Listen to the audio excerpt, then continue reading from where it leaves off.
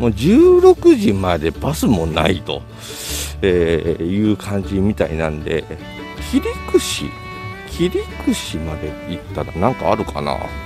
切り口まで歩くとかかるだろうな。うん。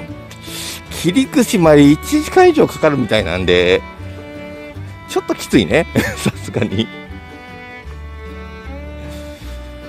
秋月。で切り口は逆に行ってしまえたら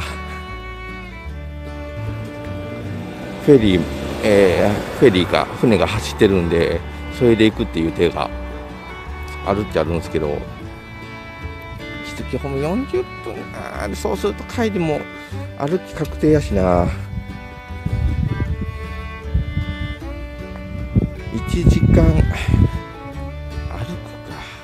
ち方面こう切り口の方歩けるのかな？ち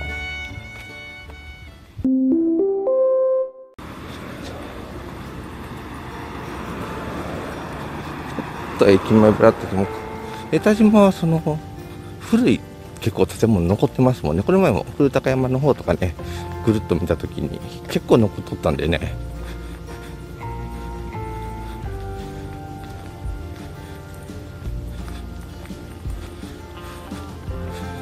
こっち側をずっと行くと切り口には行くらしいんですけど1時間かかるもんな。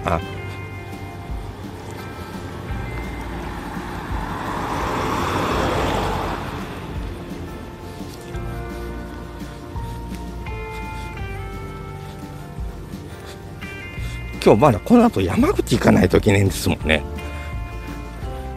すごく大事なこと忘れてましたけど俺そっか。この後長門行くんだ。何考えてんだろうね。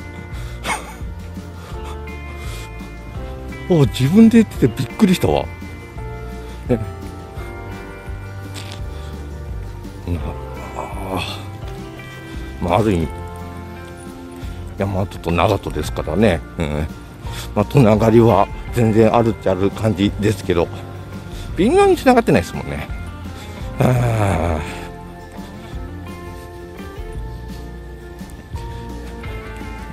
やでもこういうところ散歩するときも楽しいですけどね。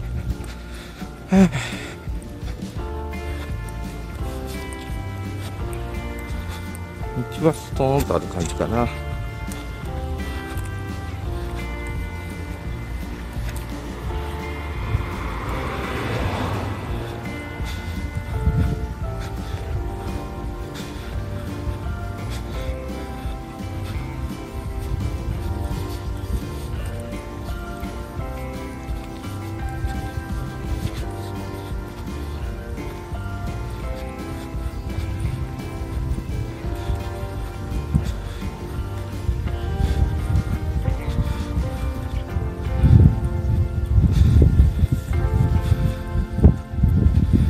え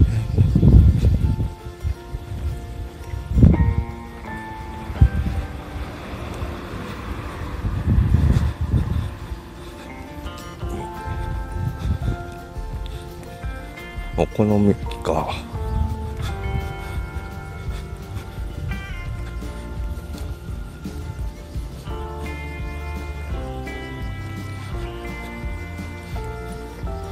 さあこれくらい歩いてどんな感じだ？ちょっと進捗見てみよう。まあまあ歩いた気分になってましたけどね、えー、地図貼っつけときます。えー、青い印のところがね、私のいるところ。で、先のこの黄色い線ね、国道が切れたところがちょうど、えっ、ー、と、作用やったっけ？えー、の、えー、港のあるところら辺らしいんですね。えー、これだと分かりにくいかな。えっ、ー、と、雇用校のね、位置がここです。無理。無理だ。遠すぎる。分かった。歩いていける距離じゃねえ。よし。ちょっと、今回あくまでも目的が山口行くのが目的なんで、えー、ちょっとここはね、駅前、駅前ちょっとちらっと見るだけで、えー、終わっちゃいますけど、えー、もうとりあえずそれで行こう。商店会かなんかあるのかな？商工会がここにあってでもその商工会も絶対後から作ってこうしましたじゃないよね。江田島江田島はね何せ普通に赤レンガがありますからね。でそうあとは、空襲の被害やってないんでね江田島は。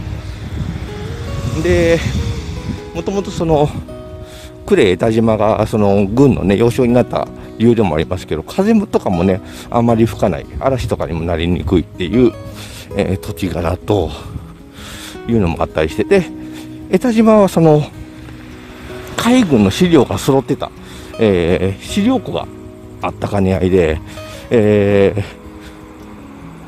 ー、一説にはね米軍がそれを、ね、燃やして情報収集できなくなるのが嫌で、えー、ここは空襲をしなかった。だから空襲の被害がなかったんですよね。なので、結構古い建物が残ってるって話は聞いたことありますからね。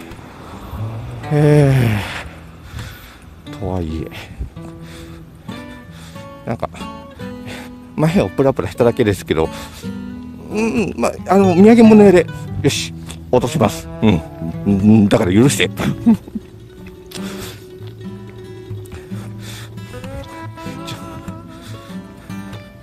あ、ドクターヘリがここにくっつくんだ。へえ。ヘリのポートにもなってんだ。で、なんか向こう向こうで面白そうな船止まっとるし。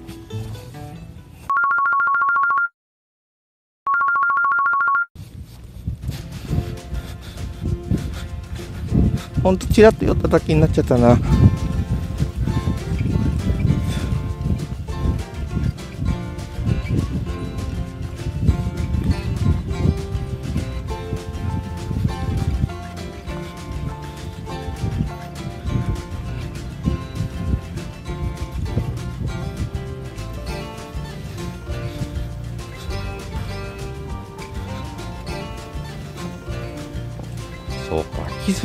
づき機ってのは全然ないんだな。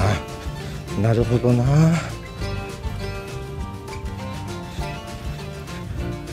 まあ今回はねどれか？これなのかな？大桟橋とこっちの方行くやつに北島北部。切り口。こういうとこですもんね。ああ、いや、タイプなんだ。で、板島福ガソリンはもこんな感じですもんね。